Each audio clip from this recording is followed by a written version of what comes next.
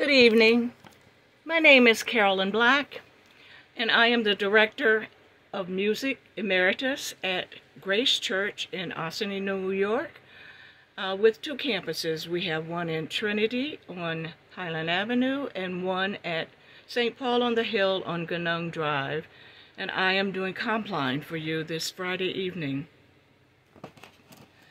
I'd like to see if I can sing this song because it was one of my mother's favorites.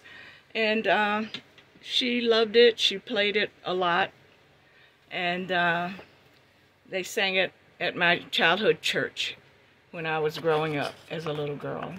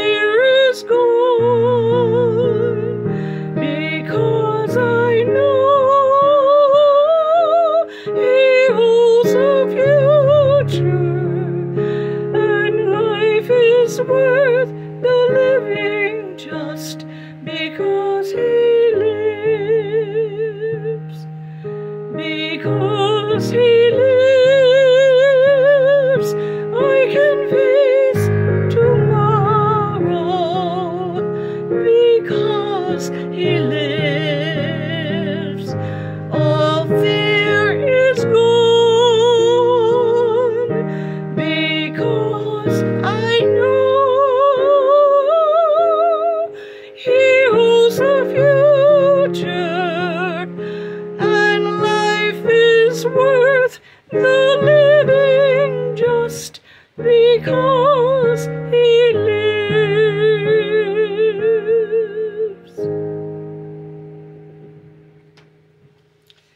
Our compline begins tonight on page 127 in the Book of Common Prayer. The Lord Almighty grant us a peaceful night and a perfect end. Amen.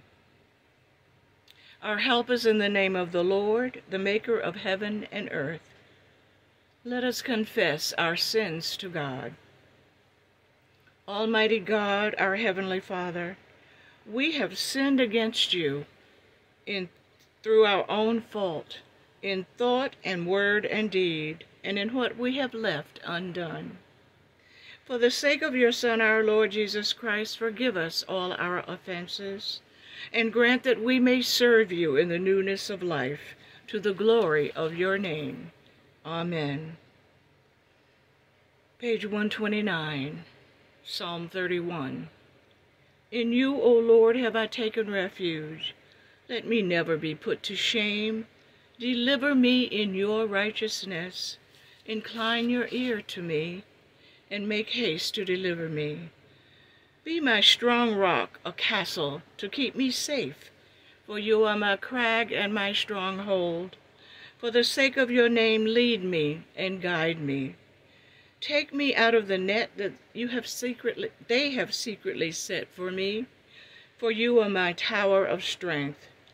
Into your hands I commend my spirit, for you have redeemed me, O Lord, O God of truth. Behold now, bless the Lord, all you servants of the Lord, you that stand by night in the house of the Lord. Lift up your hands in the holy place and bless the Lord. The Lord who made heaven and earth bless you out of Zion. Glory to the Father, and to the Son, and to the Holy Spirit, as it was in the beginning, is now, and will be forever. Amen. Lord, you are in the midst of us, and we are called by your name. Do not forsake us, O Lord our God. Thanks be to God. Come to me, all who labor and are heavy laden, and I will give you rest. Take my yoke upon you and learn from me, for I am gentle and lowly of heart, and you will find rest for your souls. For my yoke is easy and my burden is light. This is Matthew 11, verse 28 through 30. Thanks be to God. Be watchful, be sober. Your adversary, the devil, prowls around like a roaring lion, seeking someone to devour. Resist him firm in your faith. 1 Peter, 5th chapter, verse 8 through 9a. Thanks be to God.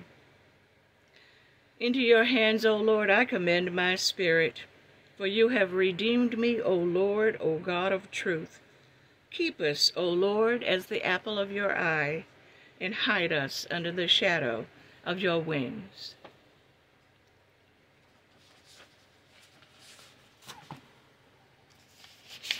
Last week, I think I started uh, reading to you from my favorite book of prayers um, by Sarah Bessey.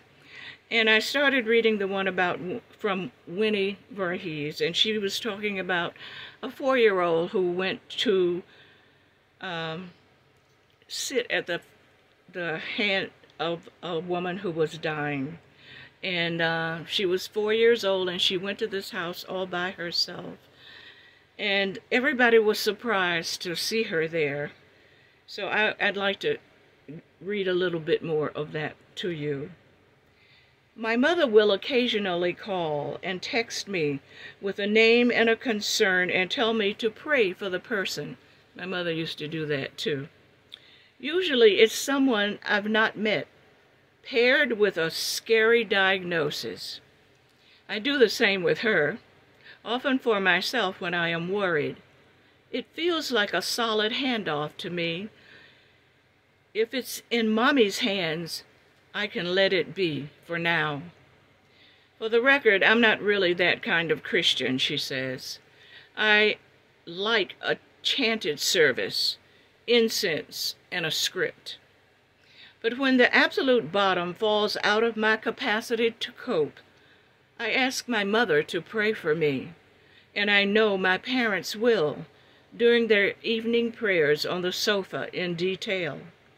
These days when I pray, I send all my hopes and fears into the air over the Hudson River, trying to remain long enough for the language of praise to come to me naturally. The words eventually come, usually in the form of an old song from my childhood. Nothing feels steady around me anymore. I don't know if it's about the horrors of this political moment or the kind of work that I am doing, or my age. I'm there. I really don't know. In my work at times, it feels like the weight of inequity. In my work at times, it feels like the weight and the power of the state over vulnerable people, although are close, wicked, terrifying. The fragility of the bodies broken by it, present the hauntedness of this land, the generations of abuse and exploitation palpable. I have been praying to discern, to have courage and clarity amid all this. I pray for the sense of purpose, like that four-year-old. When I pray, I remembered the Friday evening prayer meetings of my childhood, when the prayers and songs and words were spoken in Malayalam, I wonder how much of my spirituality was formed by a language that I barely understood. Spaces like this taught me liturgy and music. For as kids, we couldn't understand the words, just the emotions. The aunties and uncles would settle into their seats, take off their glasses, anticipating tears. I never wondered back then why they were crying. And now let us pray together the prayer that Jesus Christ taught us. Our Father, who art in heaven, hallowed be thy name. Thy kingdom come, thy will be done on earth as it is in heaven. Give us this day our daily bread, and forgive us our trespasses, as we forgive those who trespass against us. And lead us not into temptation, but deliver us from evil. Lord, hear our prayer, and let our cry come to you. Let us pray.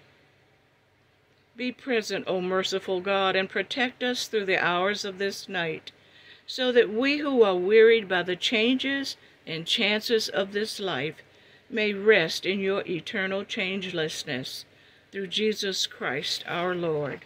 Amen.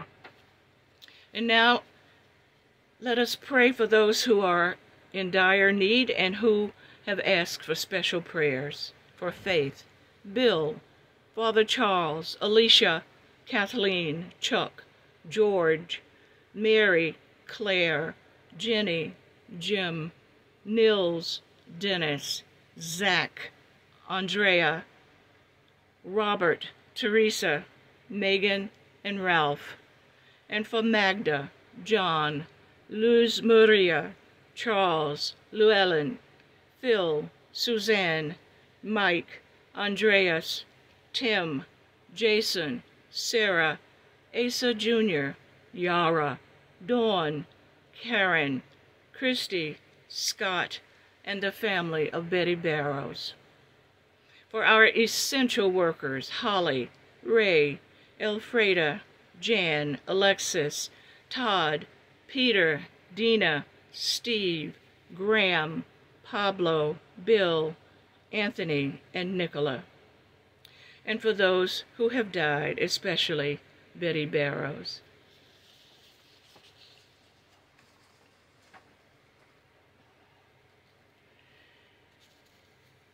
Visit this place, O Lord, and drive far from it all snares of the enemy. Let your holy angels dwell with us to preserve us in peace, and let your blessing be upon us always, through Jesus Christ our Lord. Keep watch, dear Lord, with those who work or watch or weep this night, and give your angels charge over those who sleep. Tend the sick, Lord Christ. Give rest to the weary. Bless the dying. Soothe the suffering. Pity the afflicted. Shield the joyous, and all for your love's sake. Amen. Guide us waking, O Lord, and guard us sleeping that awake we may watch with Christ, and asleep we may rest in peace. Lord, you now have let your, set your servant free to go in peace as you have promised. For these eyes of mine have seen the Savior, whom you have prepared for all the world to see, a light to enlighten the nations, and the glory of your people, Israel. Glory to the Father, and to the Son, and to the Holy Spirit, as it was in the beginning, is now, and will be forever. Amen. Guide us waking, O Lord, and guard us sleeping, that awake we may watch with Christ, and asleep we may rest in peace. Alleluia, alleluia, alleluia. Let us bless the Lord. Thanks be to God. Amen. Stay safe, my friends. Wear your masks and do for your neighbors what you can. Amen.